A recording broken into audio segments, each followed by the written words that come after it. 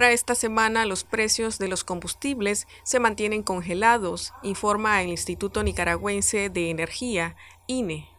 Dado el incremento constante que desde el año 2021 han tenido los precios internacionales del petróleo y sus derivados, los cuales afectan la economía de todos los países, pensando siempre en el apoyo a las familias nicaragüenses y en las diversas actividades que realiza nuestro pueblo relacionadas con la producción, el transporte colectivo y las diversas actividades económicas del país, han instruido al Ministerio de Energía y Minas y al Instituto Nicaragüense de Energía informar a las familias nicaragüenses que para la próxima semana, que va del 15 al 21 de octubre de 2023, de acuerdo con los precios internacionales de los derivados del petróleo, los ajustes que se requieran no serán aplicados, manteniéndose los precios locales de los combustibles, gasolinas y diésel, sin variación para beneficio de las familias nicaragüenses. En cuanto al gas licuado de petróleo, principal combustible que usan los hogares nicaragüenses para la preparación de alimentos, nuestro gobierno de reconciliación y unidad nacional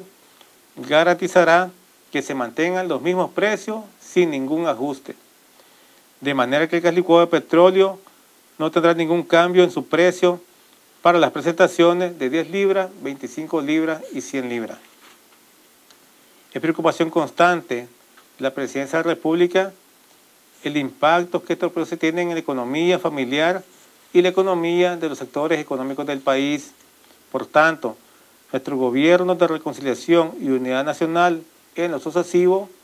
continuará en seguimiento permanente del comportamiento de los precios internacionales y resto de variables que conforman el precio de los combustibles y se tomarán las acciones y medidas correspondientes que permitan mitigar el impacto del incremento de estos precios en la economía de las familias nicaragüenses. Iniciamos este mes de octubre victorioso, siempre al frente, conmemorando esta semana el Día de la Resistencia Indígena, Negra y Popular que nos hace grande como nación,